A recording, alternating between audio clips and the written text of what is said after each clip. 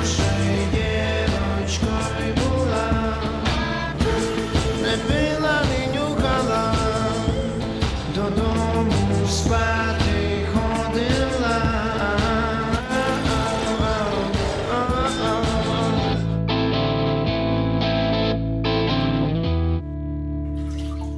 Мої вітання, друзі! Всім добрий вечір. Мене звати Яніна Соколова, і ви дивитесь рандеву. Я нагадаю, що щосуботи в ефірі п'ятого каналу е, на телебаченні і в інтернеті ви маєте можливість долучитися до спілкування із моїми гостями, людьми, які роблять історію в цій країні абсолютно в різних сферах. Як долучитися, підписатися на сторінку рандеву у Фейсбуці? Це раз. По-друге, не забувати підписатися на наші youtube канали, на мій і youtube каналу, е, youtube канал п'ятого каналу. Ось так він виглядає. І ви автоматично будете отримувати сповіщення про те, що ми маємо чергову програму в ефірі. Сьогодні у мене в гостях людина, яка уособлює собою тему, яка для багатьох із вас є набридлою. А, Чому я так говорю? Тому що я помітила по різних проектах, як тільки ми піднімаємо цю тему. Ви одразу стаєте менш активними в перегляді, ви менше коментуєте, ви менше інтегруєтесь в цю історію. Я говорю про Крим. Сьогодні поговоримо про нього і не тільки. Поруч зі мною людина, яку Мустафа Джемілів, лідер кримсько-татарського народу, в мене в рандеву назвав. Ну, коли я спитала, кого він бачить своїм наступником, він назвав цього чоловіка. Це народний депутат від партії Голос Рустем Умеров поруч зі мною. Привіт! Доброго дня. Що на даний момент має зробити українська влада, щоб ми хоча б трохи посунулися в питанні повернення Криму? Ну, по-перше, е, ви казали, що Крим це дуже складне питання. Його треба простіше розповідати, що таке Крим. Крим це про людей. Дві з половиною мільйони людей сім років чекають, коли ми повернемося. Візьму приклад кримських татар. У нас є мирний супротив. Про них ніхто не згадує. Вони кожного дня йдуть в'язниці. Ми допомагаємо їм. Що влада повинна робити? Вона повинна завжди її тримати в порядку денному. Те, що зараз з'явилася ідея про кримську платформу, це дуже для нас важливий крок. Це як кажу, як е, громадянин України, як кримський татарин, як радник Мустафа Джемілєва, який, е, якого ви зараз згадували. Якщо не буде влада підтримувати питання Криму, то взагалі ніхто е, цим не буде е, цікавитись. Ну, змі не будуть тиражувати, люди не будуть обговорювати. Давайте зараз покажемо фрагмент. У нас є відео, друзі, на тему чергових обшуків у Криму, під час яких було вбито людину, щоб ви розуміли, в яких умовах зараз живуть наші в Криму.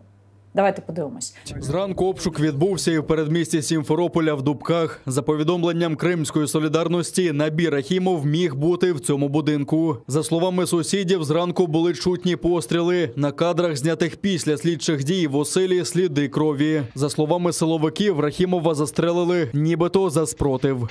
Когда э, мы зашли в дом, увидели в доме кровавые следы лужи крови. Все вещи были э, скомканы, собраны в одном месте.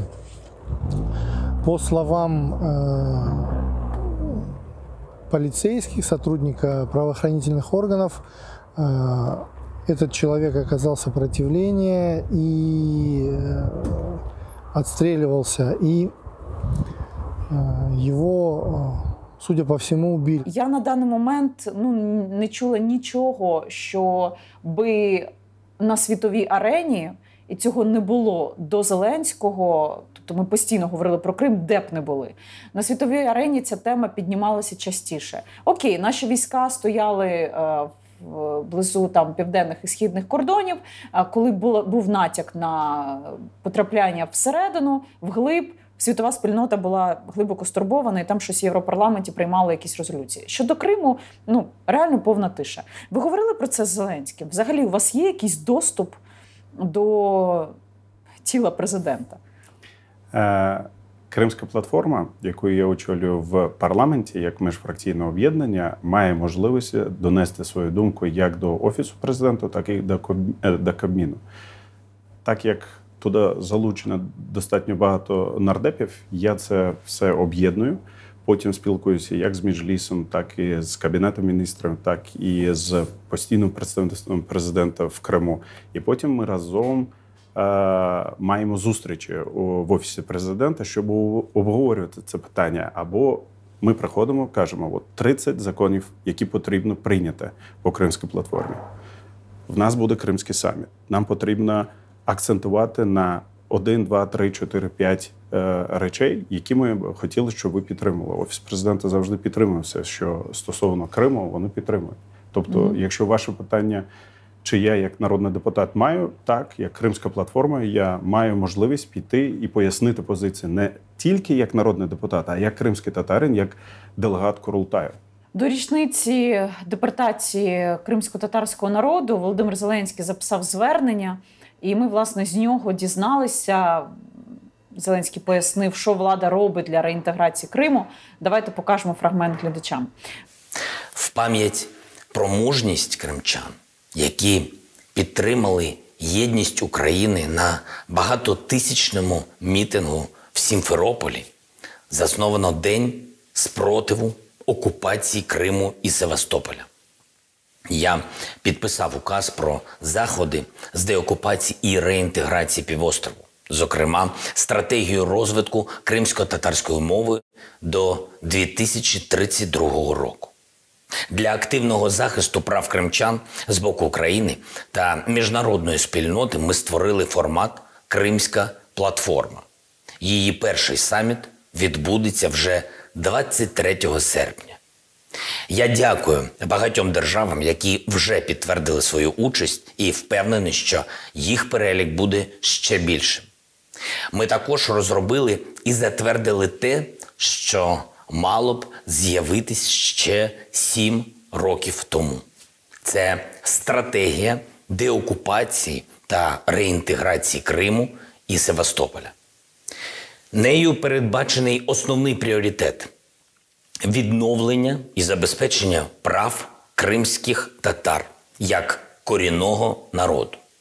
Що робить цей майданчик? Це ну не просто порожні слова. Цей майданчик буде координувати міжнародні зусилля для захисту е, прав кримчан і деокупації півострова. Хто туди входить, друзі? США, Канада, Великобританія, Туреччина, Молдова, Словаччина дали згоду на участь кримській платформі. І під час першого саміту, який вже запланований, відбудеться він на даний момент відомо, що 23 серпня Україна пропонуватиме увага іншим країнам підписати так звану Кримську хартію. За словами Зеленського, в кримській платформі візьмуть участь представники близько 30 країн.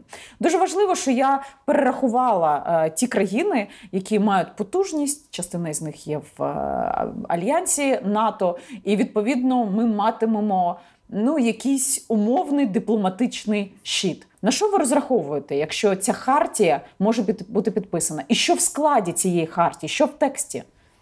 Знаєте, як коли приїжджають люди з Криму, вони кажуть: дивись, е, в ООН розглядають питання резолюції, підтримує 30-40 е, країн нас, де країни мусульманського світу, організації ісламського співробітництва, куди входить 57 країн.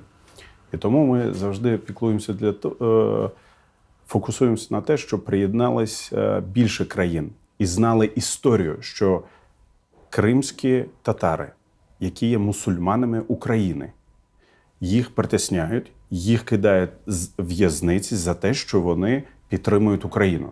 І от моя задача в тому, щоб зараз е, від Марокко до Джакарти, до тих 40 країн, які нас постійно завжди підтримують, доєдналося ще 50 країн, 57 країн.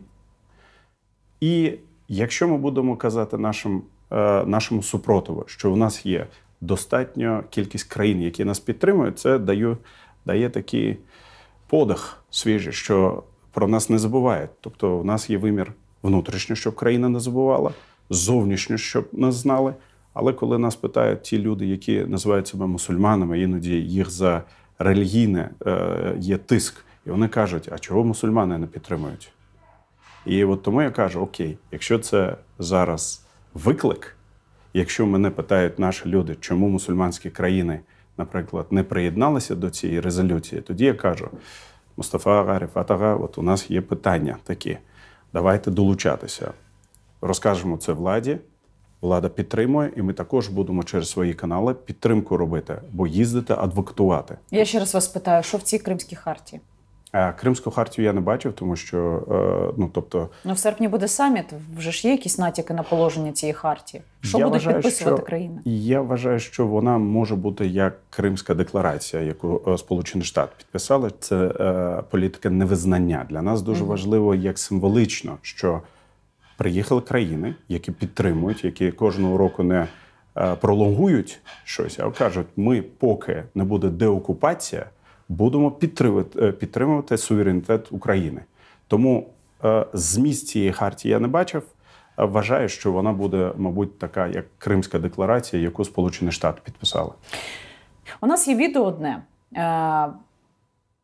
про те, що кримці більше не хочуть жити в Росії. Чому? Давайте покажемо його глядачам, що цінно для нас, те, що це відео було зроблене опитування таким виданням, медіаресурсом, як Ехо Москви. Давайте подивимось. Неожиданным для ведущих радио «Эхо Москвы» стал эфир, когда они спросили у крымчан, какой Крым лучше, украинский или российский. Все звонки были от недовольных жителей аннексированного полуострова. Первой позвонила слушательница из Ялты. Живется просто ужасно, ребята. И мы ничего с этим не сможем сделать. Э, Дело в том, что голосование, как вы знаете, вот то в 2014 году, это была чистая профанация, никто не ходил голосовать. Э, Я как местный житель вам это говорю. Конечно, было бы лучше, если бы была здесь Украина, потому как, вы знаете, 90% жителей мы украинцы все. Подождите, В а- В смысле, в каком смысле? А, В смысле гражданства, национальности или что вы имеете в виду? Ну, в смысле принадлежности к этой нации, так сказать. Но здесь же нет, э, сколько здесь русских? Э, Очень мало. Вторым позвонил пенсионер из Екатеринбурга, который последние пять лет живет в Крыму и регулярно посещал полуостров последние 20 лет. Какой Крым лучше, украинский или российский? Говорите, да, Саша, вы уже в прямом эфире. Безусловно, безусловно, да, вернее, ну, безусловно, украинский, я сейчас объясню, я человек очень пожилой. Ну, как, я, мне 75 лет. Значит, э, я могу э, сравнивать с э, предыдущим государством. Так вот, Крым сейчас, вот последний, вот после, э, деликатно говоря, присоединения, обрушивается в самый заскорузлый, застойный совок. Ведущие удивлены и переспрашивают, мол, Россия построила мост и трассу Таврида. Неужели в Крыму так плохо жить? Житель из Керчи так объяснил свою позицию. Архи стало плохо жить. Архи стало плохо. Почему? Вы даже, вы даже себе не представляете. Ну, связано с тем, вы знаете, что миграционные процессы связаны с наличием рабочих мест. Рабочих мест нету. ну вас не муляє те, що існує велика кількість людей, в тому числі ті, які дзвонять. Я впевнена, що не всі вони би вийшли на акції протесту або стояли би біля будівель там адміністрації. Тобто, ну революції не буде там. Я правильно розумію? Давайте так зробимо. Перше, Росія не про людяність. Вони не піклуються про своїх громадян. Тому в Криму вони будуть відбудовувати інфраструктуру, розказувати людям, що ми зробили мости, дороги. Але ми з вами знаємо, що вони роблять плацдарм для е, наступного наступу. Це перше. По-друге, історично, якщо в 44-му, коли нас депортували, привезли з центральних районів Росії людей, віддали їм наші домівки, вони дійсно іноді можуть почуватися там близькими до Росії, тому що їх привезли з Росії. Ми просто не розуміємо, чому вони з нашою землею до Росії приєднатися хочуть. І третій аспект, що можуть робити. Е, кожна людина, яка зараз знаходиться на тимчасово окупованому Криму, тимчасово окупованому Криму, кримські татари це роблять через пост, репост, спілкування, зустрічі, обговорення на я не знаю, в кав'ярнях. Ну, в кав'ярнях вони не будуть, але на зустрічах, якісь на памінках, як то кажуть. Але ж за це можуть засадити Рустема. Так, більше ніж три людини кримським татарам надають зустрічатися. Іншим можна. От ви кажете, Більш ніж три людини. якщо більш ніж три людини кримські татари будуть е, десь організовуватися, в них будуть дуже величезні проблеми. Це законодавчо там так Ні, законодавчо вони кажуть, якщо Крим чей, і ви скажете український, тоді ви отримаєте десь 5 років в'язниці. Но кримським татарам чомусь дають 15, 20, 25 років. І це кажуть, що ми порушуємо суверенітет нібито російські, тому що це нібито вони кажуть, що це російські. І тому вони кажуть: от дивитись на кримських татар, вони порушують наш суверенітет, вони є екстремістами і терористами, і тому ми даємо їм такі строки. І потім включається пропагандійська машина і кажуть, вони терористи, екстремісти. А що вони зробили такого?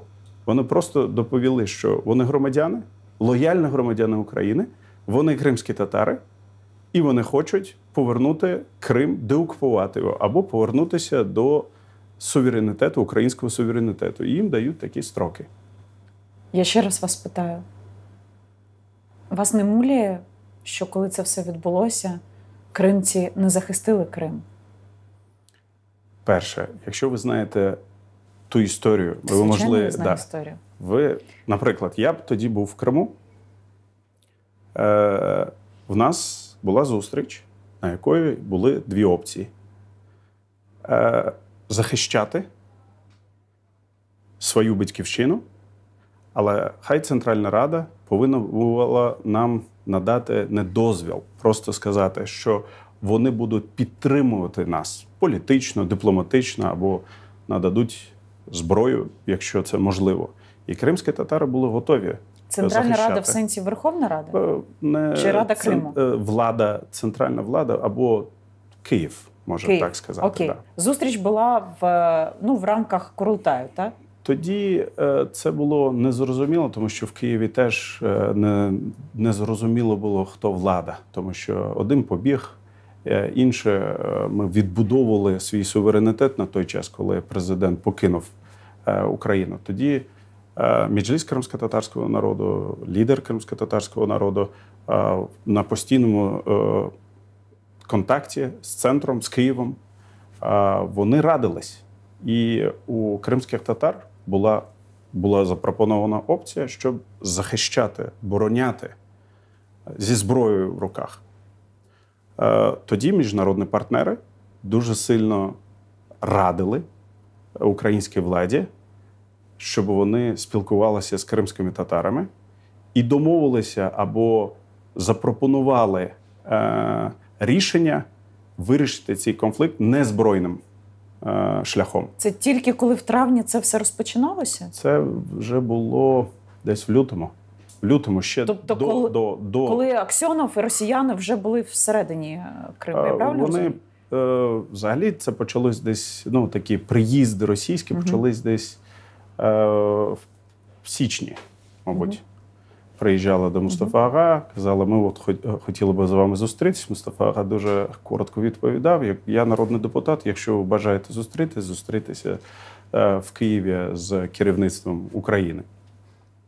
Ну на той час, як я казав, е, вже коли вона готувалася, або ми вже зрозуміли, що вони будуть е, е, захоплювати Крим. Тобто то, ви знали про те, що вони будуть захоплювати Крим? ну, ми бачили, що є якісь намагання, старання російської сторони провести більше, активізували свої політичні, е, дипломатичні канали, щось е, озброєні люди. Ну не озброєні, там більше така активізація більш пішла. Ви зараз говорите про західних партнерів, які порадили українській владі на той момент, аби це можна було Західні вирішити. партнери, так.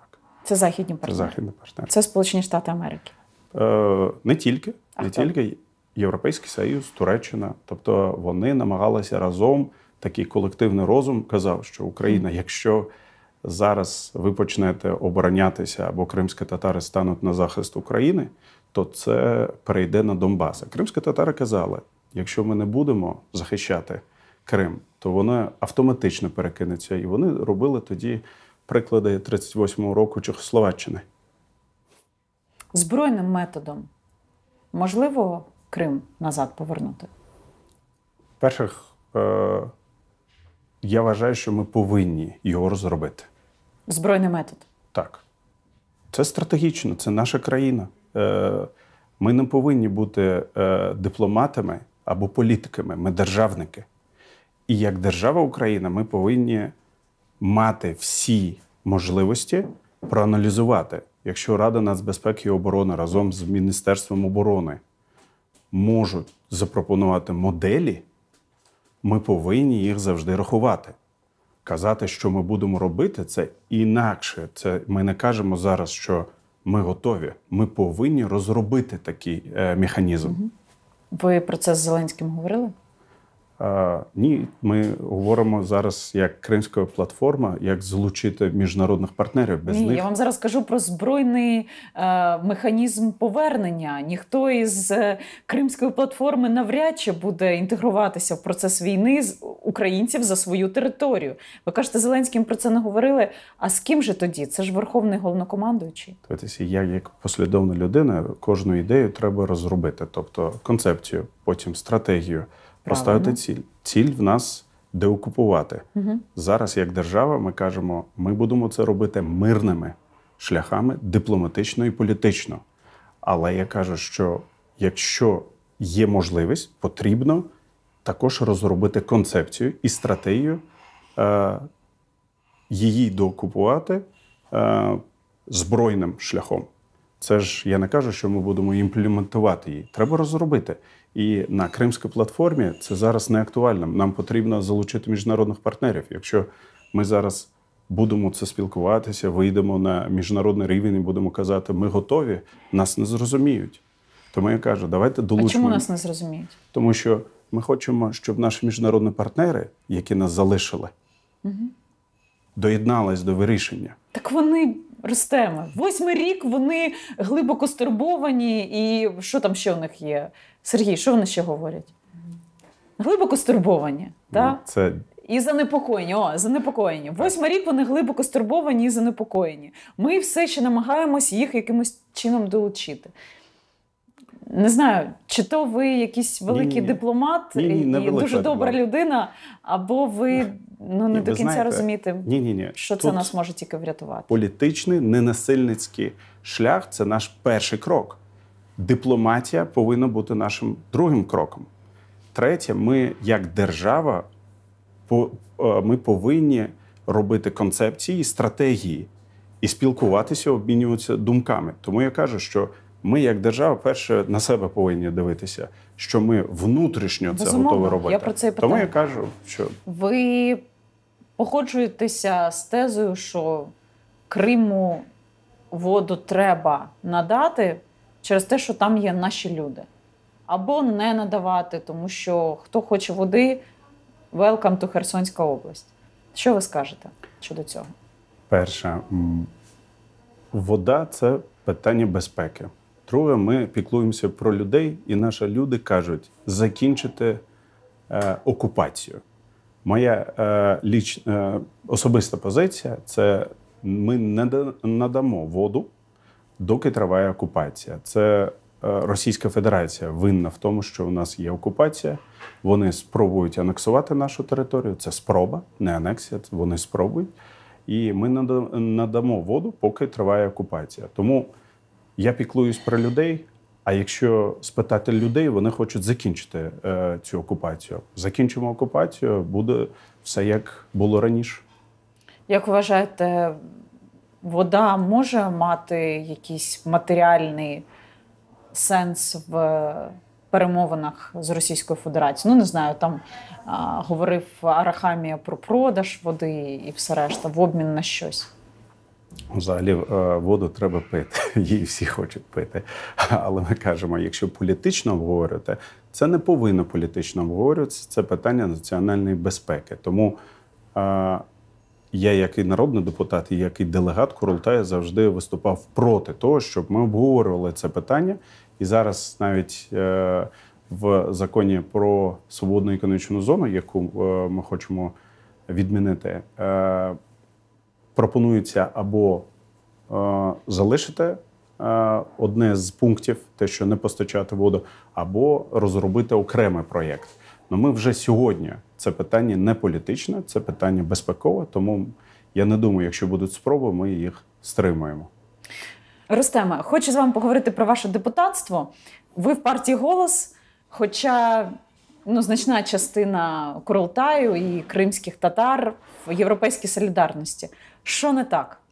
З Ні, солідарністю, що ви з голосом. Ні, е, коли починалися вибори, ми зробили принципи і сказали, як потрібно і хто повинен е, представляти кримських татар. Розробили такий список з 20 або 25 людей. Е, Активісти, журналісти, атошники, делегати Курултаю, меджлісмени. І потім пішли до деяких е, партій і сказали: от ми хочемо, щоб питання Криму було у вас в програмі. У нас є 25 людей, які е, зможуть представляти це питання в порядку денному у вас. Це про європейські всі, е, про українські такі партії. Не всі, майже всі. І в той час в ЄС ми в п'ять, якщо не помиляюсь, п'ять партій було тоді. Ми запропонували е, своїх кандидатів. Внутрішньо партії обирали самі цих кандидатів, тобто з цього списку. Так як я був знайомий з Славком е, зі Стенфордської програми, тому що ми разом з ним спонсори цієї програми, е, разом із іншими колегами, то він запропонував приєднатися до команди голосу. І от так і сталося, що ми разом якби маємо спільні цілі, е, цінності. Я тоді погодився піти. Ну, але ви вже не разом, бо Славко пішов. Більше того, партія голос нині е, ну, переживає такий непростий період. Друзі, ми зараз вам коротенько внизу екрану пояснимо, що мається на увазі, якщо ви щось прогавили. Але ну, поза очі, я маю багато друзів в європейській солідарності і в голосі. І коли ми щось між собою обговорюємо, звучить така фраза про рейдерство двома людьми партії. Ну, одна людина, я розумію, що це Кіра Рудик. Хто друга людина, може, ви мені розкажете. А можете коротенько пояснити, чому відбувається рейдерство і в чому зерно конфлікту? Я можу свою позицію тільки Давайте, сказати. звичайно. Да. Голос дуже е, гарна партія і дуже гарні люди в неї. Е, якби представляють 90 900 тисяч е, виборців. Якщо вони разом працюють в парламенті, разом зустрічаються, обмінюються думками, я не вважаю це супервеликим конфліктом, тому що каденція ще не закінчена. Це моя особиста позиція. Рустеме, ну що ходять, обговорюють позиції. Та постів купа було. Відкритий конфлікт між Кірою Рудик. В голосі повідомили, що із партії за оцей, от, даруйте, привселюдний срач е, соціально-мережовий. Нікого не виключали, але винесли попередження шістьом нардепам, які були дуже сильно активні. Е, Юрчишина, Лозинський Рома, Соля е, Бобровська, Олександра Остинова, Ольза Стефанишина і Володимир Цабаль. Та? Вам ні? Але решті так. Колишній голова фракції голос Сергій Рахмані назвав те, що відбувається в партії хворобою росту. Кого здогадаєтеся самі? А очільниця партії Кіра Рудик також сказала, що це проблеми росту. Коротше, у партії проблеми росту, але ростемо. Ну ну чого ви зараз е, блефуєте? Це не просто суперечки в стінах ходили, говорили. Ні, це, це- це прямий конфлікт в партії. Ну, я вважаю, ну, як конфлікт. Ну, Що конфлікт- там, що конфлікт там, між що двома- Там конфліктувати? Ну, от що там конфліктувати? Ну, за рішення, наприклад, історія з е, намаганням об'єднатися зі слугами. Е, Це про Кіру Рудик. Друга історія про походи до Єрмака Кіри Рудик і про умовну співпрацю, яка у всіх на поверхні, і небажання це робити з боку інших членів партії. Сергій Притула не раз про це говорив, і в мене в ефірі, зокрема. Давайте послухаємо. Є протистояння і частини фракції, і величезної кількості партійців і партійних осередків з керівництвом партії. Ну, І давай вже це- будемо конкретними з керівництвом партії, власне, яке очолює ну, це, цю частину тих, хто якби заворушення робить. Це очолює Кіра Рудик. Я правильно розумію? Е, Кіра Рудик Кіра, причиною... Кіра є е, головою партії голос станом на сьогоднішній день. Окей. І е, поряд з цим вона ще поєднує посаду керівника Київської міської організації партії. Ось, але точно не можна говорити про конфлікт у партії на кшталт між люди Кіри і не люди Кіри. Тому що якщо ми беремо фракцію, яка насправді є брендфейсом партії, і саме по конфлікту всередині фракції зараз більшість помилково вважають, що з голосом відбувається щось страшне. То там немає конфлікту двох сторін, тому що одна сторона фактично не представлена кількісно, тому що не можна говорити. Ну там є називається вона опозиційна десятка, які зробили заяву, що там є пресинг з боку керівництва і так далі. Але з іншого боку, немає там протистояння десятки, тому що ну там занадто. ем, сильні е, персоналії для того, щоб сказати, що вони можуть ходити під кірою. Так, тобто, ну давайте мати повагу до Сергія Рахманіна. Це людина, котра сама може очолити е, будь-яку структуру і за честь прислухатися до того, що він говорить, бо він глиба. Відповім, просто у мене завжди з ними зустрічі зі всіма. І якщо вони, ну тобто, з будь-ким, яких ви назвали, зі всіма я зустрічався.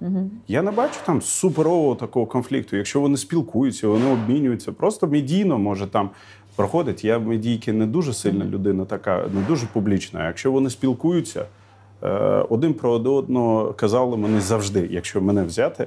Гарні речі, а потім я кажу: так ти ж казав гарні речі. А чого ти зараз так публічно виходиш? Ну от змінилась позиція. Я кажу, ага, добре. Я як послідовна людина кажу, через два місяці це ще е, зміниться чи ні? Я кажу, давай подивимось, скільки може там це коли почалося? В, е, в січні? Да, ну там п'ять місяців. Воно почалося трохи раніше, але публічним стало в січні. Те, що я знаю Я про два рази, процес. два рази е, намагався, щоб е, сіли за стіл, тобто і побачив е, небажання оби- е, один одного слухати. Це теж нормально. Тому я кажу, коли виходять в ефір медійний і починають розповідати про свою особисту історію, я кажу, дайте їм часу трохи. Чому? Ну, п'ять місяців не домовились, може на шостому. Тому що я питав е, цих людей, я кажу: от ти зараз про свого опонента кажеш не дуже такі гарні речі. Але е, одночасно ти ж сам чи сама е, казала, що ці добрі, гарні люди мені. І я кажу, як це можна зрозуміти? Ну, тоді вони гарні були, а зараз погані. Я кажу, окей, тоді я, як послідовна людина, чесна людина, кажу, ну давайте трохи часу, хай пройде, може домовитись. От моя позиція. Тобто, Ну, з січня вже пройшло 6 майже місяців, от червень а, на носі, і нічого, нічого не помінялося. Я вас питаю напряму. А ви вважаєте, що Кіру Рудик треба поміняти? Знаєте, я не, е, не дуже сильно дивився, які питання по партії вони мають, тому що е, якщо медійно дивитися, там взагалі все дуже погано. Але коли я питаю, там, наприклад, одну сторону чи іншу, одна сторона розповідає свою до другої е, йду, вони там свій раціонал розказують, думаю, добре. Ну, може, поспілкуйтеся, я завжди це пропоную. Тому я вважаю так. Це нормально. Нормально, вони спілкуються, обмінюються думками. Якщо не погоджуються по якійсь то посаді, це інша річ, тому що це посада. Я кажу: ну ти ж можеш робити просто такі речі. Ну тобі ж не потрібна посада. От я, наприклад, делегатом був, народним депутатом був 21 рік працюю з Мустафа Ага. Я був помічником, радником. У мене не було посади. Ну я ж послідовно допомагав. Ну, у вас немає таких амбіцій, напевно, як у когось із членів цієї партії, що в принципі нормально для кожного із них. Якби був Вакарчук, зараз би не було цього конфлікту, як ви думаєте? Е, Якби був його вплив нині, і він би був голо- був головою Ви знаєте, партії? за два роки е, партія змінилася на краще. на краще вважаєте? Так. Чому? Е, всі приходили з якимись е, стараннями, намаганнями е, бачити, відбудовувати. Вони залишились. Просто вони зараз більш реалістично бачать. Тоді вони було більш емоційно, може. Зараз вони реалістично. І це нормально. Ви ображені на Вакарчука, що він таке рішення прийняв? Ні, це його особисте рішення, і це нормально теж. Ви бачили цифри попередні? В наступному парламенті голосу вже не буде, так? Якщо зараз зупинить сварки публічні і об'єднається до спільної мети, зможе бути. Намагання створити коаліцію зі слугами народу це правильно? Якщо слуги погодяться і в Так. голосі погодяться, то нормально. Ну а ви як особисто за чи проти? Це рішення фракції і партії. Ну ви член Ні. партії. Я, це я добре дивитися, чи я погано? отак скажу. Якщо візьмемо два роки тому, голос приходив для того, щоб робити справи. І я дуже багато разів чув, що голос був згодний піти в коаліцію. А якщо через два роки мені кажуть, ми ніколи не робили, то я пам'ятаю, так два роки тому ти робив щось, казав. Мені зараз теж непослідовно Ну, щось. от ви тому... питали членів вашої Да, партії питав. про Я а, конкретно кожного. Я вас зараз конкретно питаю вас. Тоді, коли я Ні, я приходив, про зараз кажу. Ні, ні. коли Зараз. я приходив, я не вважав, що потрібно робити. Так, а зараз? Так. Зараз я кажу, або голос може йти в них три вихіди. Або в нас три виходи. У вас Да, да. Або з ЄС, або з слугами, або самостійно. Зараз голос каже, е, голос каже: ми йдемо самостійно. Тобто, це е, було питання, яке обговорювалось. Я питав особисто, я казав: ну, якщо мене спитаєте, от три є опції: або йти з слугами, або з ЄС, або самостійно. Яке два роки тому зі слугами не сталося. Зараз є можливість з ЄС, щось не йдете. Тоді разом а чого не йдете з ЄС? Що не так з стосунка голосу ЄС? ну, це треба питати голову фракції і партії. ну ви ж там в партії. Я сиджу мене напроти вас, журналісти Ні-ні-ні. питаю. Ви ж це обговорюєте? Чи ви там не маєте ні, впливу не і голосу? Ні, ні, е, отак. Ви знаєте, Чи ви не маєте голосу? людина. Не маєте голосу в голосі? Ні, ні, я, я чесна людина, тому я кажу, е, мене особисто, коли питають, я вам, як от ви зараз мене питаєте, відповідаю. Перше, не було такого питання об'єднання з ЄС, і тому я не можу вам відповісти. Чи буде з'єднуся зараз? чому конфлікт між голосом та ЄС? Публічний. Пам'ятаєте Е, заяви Кіри Рудик про так. Порошенка і про Да. решту? В ЄСі знаходиться Мустафа Ага і Ахтем Ага. В тому то й справа. Я Тому мені цікава ваша думка. Тому я кажу, що я не вважаю, е, у мене є ворог один, і це північний сусід, який зараз захопив нашу зону. Я не вважав тоді, коли висказувала е, е, Кіра Рудик, що ворогом є ЄС. І тому я кажу, у мене більш така позиція послідовна. Є Росія. Це вона створила е, цей е, хаос. Тому треба вирішити Росію, питання з Росією, а потім вже дивитися на внутрішні теми. Коротше, не, не чвари не влаштовувати з проукраїнськими силами. Я правильно вас розумію? Ні в коєму разі. Окей, переходимо до бліц запитань. А, Рустаме, бліц запитання, ви готові? Що не так з українською владою? От найбільший мінус, який ви спостерігаєте за ці кілька років свого депутатства, наприклад. Що всі завжди ображають владу. Як державник, я не люблю ображати владу, тому що я завжди дивлюся на те, що хто зробив цю а, а, агресію. Це моя особиста позиція. Я не захищаю нікого. Я вам просто кажу, я це не робив публічно, тому що я не професійний політик, я ідейна людина. Тому для мене, як державника, я не буду ображати публічно. але при зустрічі я скажу все, що вважаю за потрібне. Коротше, на кухні обговорюєте, а коли бачите, то Ні, ні, ні, ні. Ні, ні, ні. На зустрічі можу казати. На зустрічі можете так, так. а, у вас є свій бізнес? Та? Що це за бізнес? А Це інвестиції в технології. Е, Зараз я їм не займаюсь, е, але хлопці займаються. Телеканал АТР Кримсько-Татарський не функціонує. Держава, на жаль, не знайшла механізм для того, щоб бюджетувати їх. А ви не пробували знайти ще якихось бізнесменів або інвестиції, аби кримці мали свій телеканал?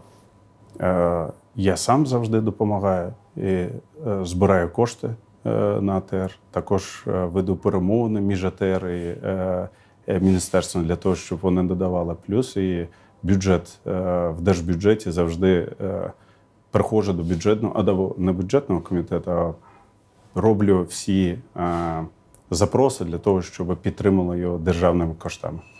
А, Мустафа Джемілів в інтерв'ю телеканалу ЕТР а, сказав, що керівник президентського офісу Андрій Єрмак пропонував йому і заступнику меджлісу Ахтему Чийгозу вийти зі складу фракції ЄС і створити у Верховній Раді групу Крим, куди б увійшов також народний депутат Рустем Омеров. Ви а, ну дуже сильно турбує Єрмака Зеленського доля е, п'ятого президента, і дуже сильно їх турбує взагалі фракції ЄС. Це очевидний конфлікт.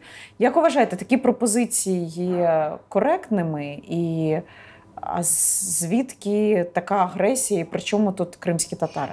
Ви знаєте, я не я був на цій зустрічі, коли читав е, е, в ЗМІ, я казав, я зателефонував Мустафа Ага. Я кажу, Мустафа Ага, от зараз ЗМІ читаю, чи звідки вони взяли це?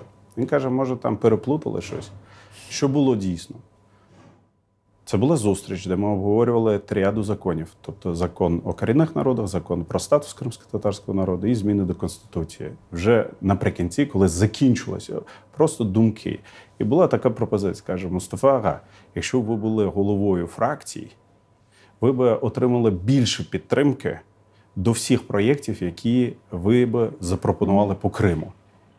От оце було. А потім те, що я прочитав в ЗМІ, е, ну це Тобто Мустафа Джемілів не говорив про це обмін цю думок. пропозицію Ну, це обмін думок. Тобто, коли камера е, виключена, ви кажете своє, хтось каже інше. Це таке обмін думок. Просто е, що було сказано, що Мустафа Ага дуже величезна особистість. Каже: от як Мустафага, якщо у вас фракція була б, то це було б достатньо сильна фракція, і достатньо багато людей би до неї приєдналось. А потім, вже я коли прочитав, там вже інші е, історії або версії були. Тому я кажу, що те, що я чув, це отак було. А як е, це ЗМІ подало, я не можу сказати, що ну, це правда, тому що е, я був на цій зустрічі. А, ну, ми зараз покажемо фрагмент. Це ж було в інтерв'ю телеканалу АТР, тому Так, можемо так. показати. Давайте подивимося, і глядачам покажемо. Kızgınçlık var mı e, iktidar tarafından siz muhalefet fırkasında olganınızın? Evet, büyük. Hı hı. Büyük. Ee, Nasıl yansıtalar bu kıskançlığı? Yani, açıktan açık ediyorlar. Hı hı. Mesela.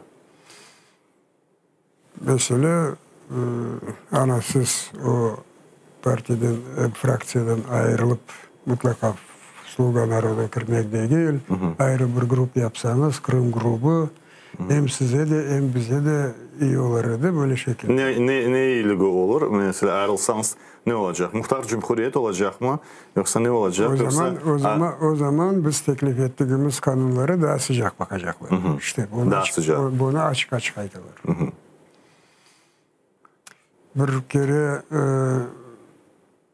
Bu ultimatum şeklinde yapılan mı yoksa teklif gibi mi? teklif şeklinde, teklif şeklinde ama e, bir kere bunu şunu e, Yermak seslendirdi. Hmm, Çuvarov Rifat da var idi. Böyle böyle yapsanız da iyi olurdu. Rifat dedi biz o 2010 senesi Yanukoviç iktidara geldiği zaman aynı şeyi söylegen idi.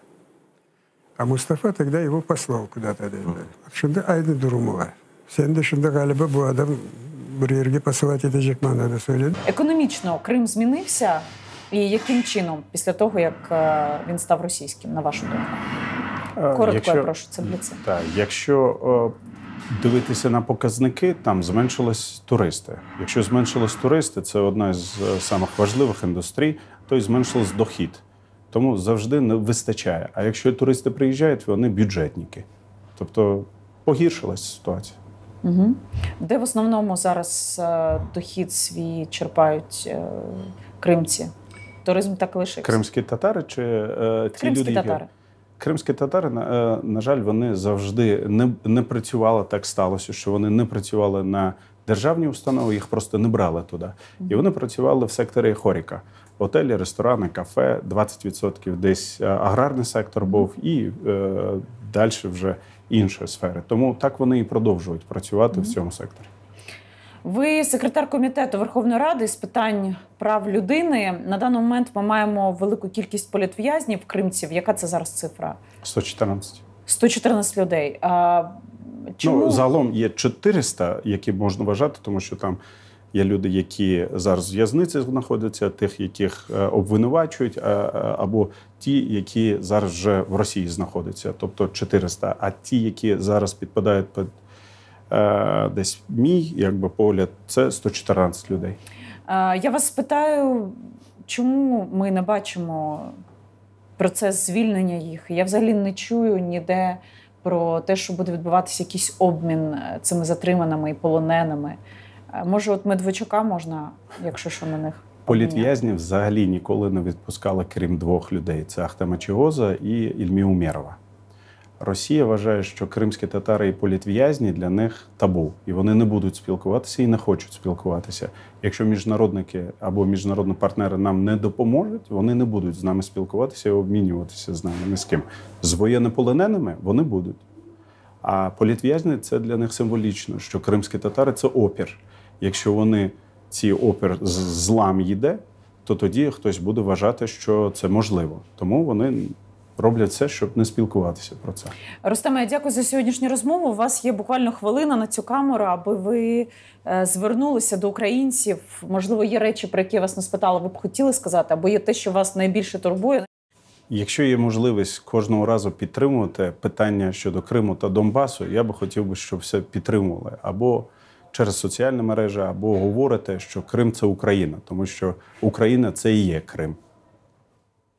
Амінь. Амінь. Крим це Україна. Дякую, що сьогодні до мене прийшли. Друзі, це був Рустем Умеров. Якщо вам було сумнувато, бо тема Криму вас дістала, то знаєте, ми вас дуже дуже засуджуємо в цьому питанні, тому що про неї треба говорити якомога більше. Тоді ми наблизимо той момент, коли Крим нарешті повернеться в наші території офіційно, не тільки е, там по всіх цивілізованих країнах, а фактично, фізично. Дякуємо всім, хто нас дивиться в Криму. Я знаю, скільки вас багато. Ми все читаємо, цінуємо. Будьте справжніми. Не забудьте підписатися на наші ресурси у Фейсбуці і на Ютубі. Дезінфікуйте руки та мізки. До зустрічі наступного тижня.